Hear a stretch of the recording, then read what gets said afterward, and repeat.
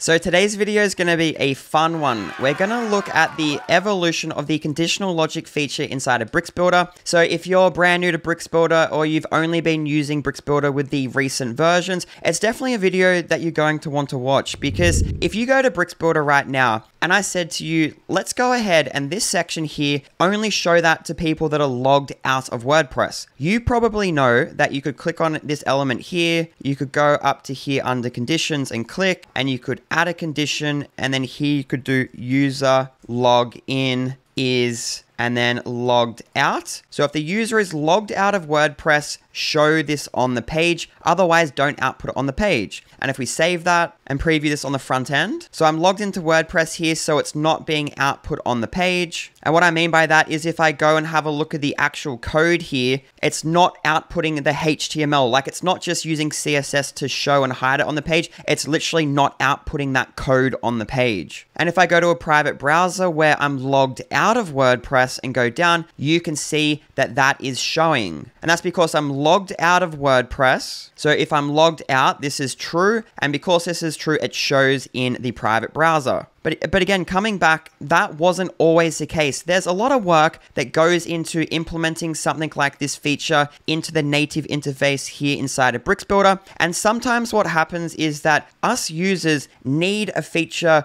ur more urgently or faster than can be implemented in a clean way inside of the builder. And so what Bricks Builder actually did with this specific feature is they met us halfway and they gave us ways to use a little bit of PHP code to go out and show and hide elements on the page until they had refined this user interface ability. And so I think it's really good to get people up to speed that are new to Bricks Builder or have jumped into the ecosystem just to give you an idea of how Bricks Builder has evolved over time. And I think this one feature is a really good insight into how the Bricks Builder team works. And this feature also highlights how the Bricks Builder team want to listen to their users. And if we need something and they can't make it fast enough, they will, again, like I said, meet us halfway, give us something until they can polish up that feature and put it into the builder. So let's jump in and look at the first ways that we could go out and show and hide elements on the page inside a Bricks Builder in the first versions of the builder. So let's jump in and I'm going to go ahead and delete this for now and get out of the conditioner builder and I'm going to save this. So let's go ahead and recreate what we had just set up where I only want to show this section to people that are logged out of WordPress. So the way that we initially had to do that, and again, if I, there's been a couple of different ways along the way. So if I have missed any of them, please leave them in the comments below. These are the ones that I remember myself using. The first way that I remember that I could go out and hide things on the page is as follows. Firstly, we'd go to the dashboard and we go to bricks and we go down to templates. And then here I would add a new template. And then here I'll write lead magnet download WP toolkit. And then here under the template type, I would select that it is a section and I would go down and click publish. And then I would edit with bricks. And then I would go back here and I would get this section here. So I'd go right click and I would go down to copy. And then I'd go over to that new template that we created that section template and I would paste it into here and then I would save and then I would come back here in the builder and I would delete it from the builder here. So I'd go delete and then I'm just going to collapse all of this so we can see what we're doing. And so now we need to add that template that we just created back into this page. Now you could go up to here and search for the template element and click here and then drag that to where it needs to go and then click here and then click under here and select that template which was uh, lead magnet. And that's not showing. We need to save and then reload the page. So I'll just do that quickly. So that's saved let's reload. And I'll just collapse that click back on my template and let's search for that again, lead magnet. So there it is. So I'll click and go down. And now you can see we've inserted that template here into the page. But the problem with using the template element is you can't set any conditions anywhere. So what we actually needed to do is get rid of this. So not do this. So I'll go delete. And we needed to add a code element. So here I'll go add code element and then I'll drag it into where it needs to go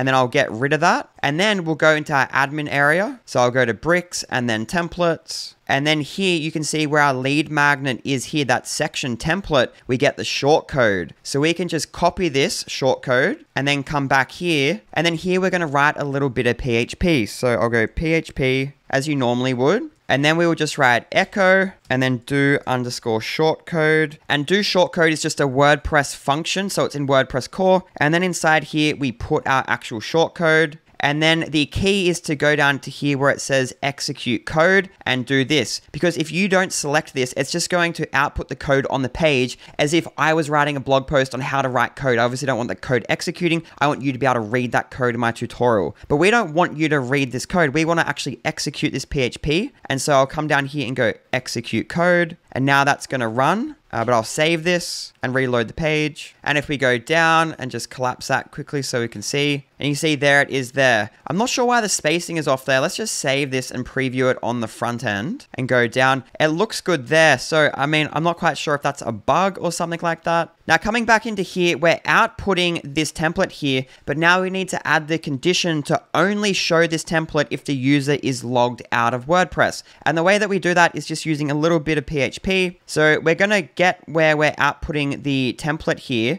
and I'm just going to wrap that in an if. So if like that, and we'll close the if. So if is user logged in. So all this does is go, if the user is logged in, this returns true. If the user logged in is false, it returns false. So if the user is logged in is true, output this. We actually want to invert that. We only want to show this if the user is logged out. So here we uh, put an exclamation mark. So if the user logged in is false, i.e. the user is logged out, now we'll output our shortcode. So now let's go ahead and save this. And then back on the front end here, if we go down, you can see I'm logged in here, so it's not outputting on the page. But if I go to our private browser and just reload the page, and go down, you can see it's outputting there on the page. So that's the first way that we were able to go out and achieve conditional logic on the page by creating a template inside a Bricks Builder, adding it into a code block, and then just writing PHP for our conditions. Now, the next way that Bricks Builder gave us to show and hide elements on the page was using their PHP render feature. So the easiest way to go and find this is just go to Bricks Builder render function inside of Google, and then just click on this one here. So the academy.bricksbuilder.com I/O you can also just go to the URL that's in my bar up the top currently, or I'm sure you just go to academy.bricksbuilder.io and just search for render up here. But once you get to this page, it documents how you can go and add some PHP to show and hide elements on the page. So you can see it's a filter, so add filter, this, return render. And if we go down and see an element where we're only trying to output it for people that are logged in, so we have our filter here. So if the element with the ID is this, I'm going to show you how to find the ID of elements in just a second. If the element with this ID, this, is trying to be rendered on the page, return is user logged in. And this is what we're actually about to look at in just a second because it's a little bit hard to understand exactly what this was doing, at least for me at the start, not being a PHP professional, but uh, I will show you exactly what this is doing. Uh, but this is really the code that where we can get the ID of an element and only sh show it and hide it if a user is logged in. So let's go ahead and copy this. And now we need to add this PHP snippet inside of our website. So the way that I add all my custom PHP snippets, my CSS, and my JavaScript is using a plugin called WP Codebox. I'm going to leave a link in the description below. It will take you to this page here. You can see it currently has a lifetime deal that's 20% off. And if you go to the pricing table and go down, it's $59. And uh, I reckon this is going to be the best $59 you've ever spent. It is, it is actually a game changer. You don't have to go into Appearance and Theme File Editor and write any custom code in a child theme anymore. I do everything inside a WP Codebox. So let's go into WP Codebox. So here it is in the menu. I'll click over to here. And then we're going to add a new snippet. So I'll go new snippet and I'll call this CL for conditional logic. And this will be bricks builder. And this is going to be a PHP snippet. I'll just zoom in quickly just so you can see easier. So it's a PHP snippet and I want to run it only on the front end of my website. And then here, I'm going to go ahead and paste in the code that we got from the bricks knowledge base. Now, before I go in and show you how to get the ID of your element and use this function, we need to go ahead and reset our design. So coming back into here, I actually want to go ahead and get rid of this code block. So I'm going to go ahead and delete that code block. And now we need to add that template back into here. So I'm going to go to our admin area. So I'll go up to here and then I'll go down to bricks and then templates. And then here's our lead magnet template. I'm going to edit with bricks. And I'm going to copy the section from here. So I'm going to go right click and copy. We'll go back into our homepage and I'm just going to paste it at the bottom here and drag it into where I want it to be on the page. So now it's actually here inside this page, my homepage. And I'm going to save my homepage. And then back here in the templates, I'm going to move this template to trash because we actually don't need it anymore. And now looking at our homepage, this is all set up and ready to go. So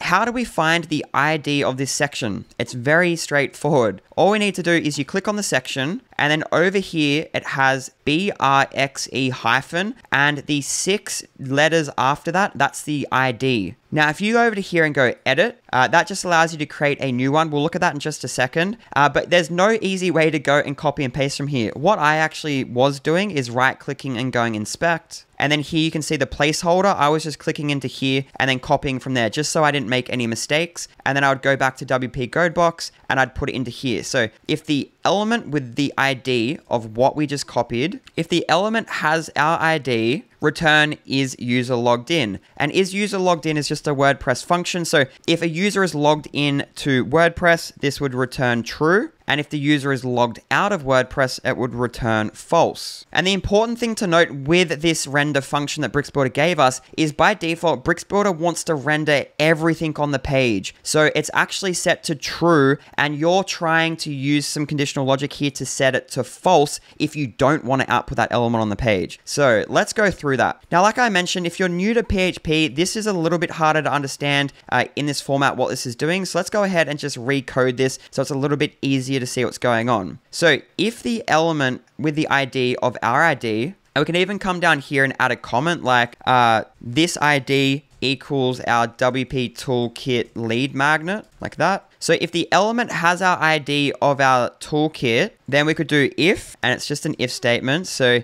if is user logged in. So if the user is logged into WordPress, we want to return false. And then we could do else, and then here we would do return true like that. But the thing is with this function, return true is on by default. So we don't actually need to do that. All we need to do is if the user is logged into WordPress, return false, else do nothing. And because it's true by default, it will return to show it on the page. It would be true. So this should do exactly what we need to do. Every time Bricks Builder tries to go and output something on the page, it looks at this here. And then it goes, if the element has our ID of our lead magnet, if the user is logged in, return false, and return false means don't output it on the page, else it doesn't do anything and then it just returns render, and render is true by default. So it will just output it on the page. So again, let's save this and then enable this and save. And now if we go to our homepage and we're logged into WordPress and we go down,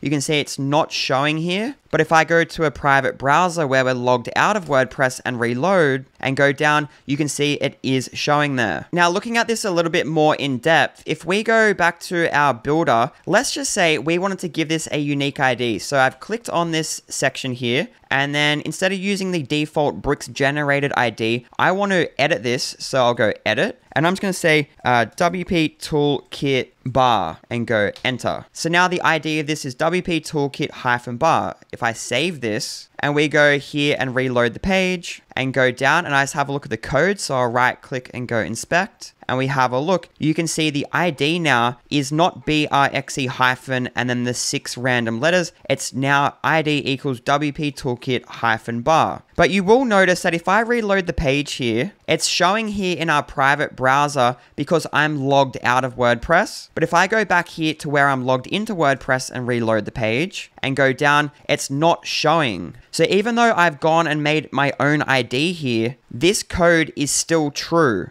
And so you could leave it like that, but if you come back later on and you might be like element ID equals this, and you're like, what, what is that? And you go back into here and you're clicking through them and you can't find it, it's going to be a little bit hard to manage. So we probably want to update our code to use WP Toolkit bar. So I'm going to edit this and I'm going to copy from here and I'm going to go back here. And you might think you can just go up to here and replace that. So go paste and then save. But if we go back here where we're logged into WordPress and reload, you can see that is showing on the page here. So this isn't actually working anymore. And this is just something that you need to be careful of. If we undo some of this, element ID here, this only checks the Bricks Builder generated ID. If you want to go and uh, add your own custom ID here, you need to use something different. And this is what you need to use. Coming back into here, if we have a look at the Bricks Builder doc, and if we go down a little bit, you can see element settings CSS ID. So we actually want to use this CSS ID, and I'll show you why. If we come back here into Bricks Builder, in Bricks Builder, when you do go and add an ID up here that's custom, what that's actually doing is if we go under style and then down to CSS, you can see if we scroll down, it's setting a CSS ID. So if we were to update this to something else like lead magnet, you can see by typing it down here, it's actually updating it up there as well. So we want to use CSS ID. So I'm going to revert it back to WP Toolkit bar and click save. And then I'm going to come back here and just copy this element settings ID there. So copy, and then back here, let's replace it. So I'm just going to go here and go paste. So if the element settings CSS ID, and then we need to do equals, and now we need to add the name of it there. So I'm just going to go here and go WP Toolkit bar copy, and then back here, we'll paste it inside there. And now when it's going through and trying to render everything on the page, if the element that it's trying to render has a CSS ID of our WP Toolkit bar, then it checks if the user is logged in. If they are logged in, return false, which means don't render the element on the page. So return false, don't show the element on the page. And the last thing that I want to cover with this function before we move on to the final way that we can do conditional logic in the builder is that back here in the docs, if we go down to example 5, they actually show you output an element having a specific HTML ID uh, based on a custom field, but we could ignore that for now. You can see that they actually do something that's important to get in the habit of doing if you want to go down this route is we need to get the HTML element ID and we just need to make sure that it's set. So we just need to initially check to see if it's set and then if it does exist and the ID equals this. Because right now we're not checking if it exists and it's probably just good good habit to get into doing. So what I'm going to do is I'm going to copy this from here and back here let's update our code. And I'm just going to get rid of that because that's from a previous example. And we're going to go here. So let's go ahead and add that check. So HTML ID. So if it does exist, if it does have a CSS ID added, then it sets the value of HTML ID to be whatever it is. So if the CSS ID of the element trying to be rendered on the page was our toolkit, it'd go HTML ID equals is it set? That's all it's doing is checking. If it does exist, then set its value to this, else set it to false. And then here we just need to get this. So I'm going to copy that and we'll go over to here and then I'll go down and paste that. So if it does exist and the actual value of it is our WP toolkit bar. So I'm just going to go and put that there and I'll just get rid of that. And if we wanted to, we could move this up as well and put that there. So and, and just get rid of that as well and get rid of that as well. And this is irrelevant for this. So this is the final code here. As it's going through and rendering all the different elements on the page, once it gets to our element with the ID of WP uh, toolkit bar, it checks to see if there's an ID there, and there would be. So then it sets the value of this variable to this. And then after this, it goes if there is an ID, which there is, and the ID, so this variable equals this, which it will, and the user is logged into WordPress, don't output on the page because again, we only want to show this if they're logged out. So if they're logged in, don't show it on the page, return false, don't output it. And that is that code there. Now, the thing that I do like about this, if you're comfortable writing a little bit of PHP and you're used to writing everything inside something like WP Codebox, where your head, you're like, I want to customize something, then you know to go to WP Codebox and you have this all neatly organized. What I really like about this PHP snippet is you can come into here and edit multiple things throughout your website in this one screen. So, I mean, there's pros and cons. The pros are obviously you're editing everything from this one area. So, if I had uh, this here, this lead magnet, and I wanted to edit showing this to only logged out users, but then there's uh, maybe there's some other things that I have conditional logic on, instead of having to go and edit every single template and then go and add conditions for all of them, you can just add all your conditions here. And you might be able to add a little bit more complex conditions here because you have the full editor at your disposal here. Uh, but again, it's it's it's not as easy as just clicking things, which is the final solution that we have today inside of Bricks Builder, which is a conditions feature, which is what we looked at at the start of today's video, where we can just click up to here and we can set conditions. So instead of writing this code, if I just disable that, if we have this and we only want to show it to logged out users, we just go click here and we go and we go user login is logged out. If they're logged out, then output this on the page, save, it's done. Um, Obviously, a lot faster to set up, no coding required, maybe a bit more intuitive, but you do need to click on each element and set the conditions there. If you're trying to do this across multiple templates, you need to edit every single template. I think most people are going to be using this now, but sometimes, you know, some conditions that you want to be able to set might not be in this drop down, and just knowing this is available to you uh, might have made all this video worth watching. But let me know in the comments below if you found this video useful. I think it is just good to know how these things have evolved over time. Things that we take for granted haven't always been the case. And these things that make our lives so much easier, there's a lot of work that goes into them. And uh, I think we're all happy to just know that Bricks Builder is evolving the way that it is. And it feels like it's evolving fast. So really keen to see the features they release in the future. So that's today's video. If you want to learn more about the conditional logic feature inside of Bricks Builder, uh, what I'd recommend doing is probably watching this video here. I thought conditional logic in Bricks Builder had this feature. Really interesting to see how you can go and use some of the advanced features that Bricks Builder gives us to do things. Uh, but I was surprised that this isn't actually built into Bricks Builder. So uh, have a watch of that video next and let me know in the comments if you thought that was a feature that was in Bricks Builder uh, or if you were surprised that it wasn't included. So definitely leave a comment when you watch this video next. I'm going to put on the screen now. I'll see you in that video.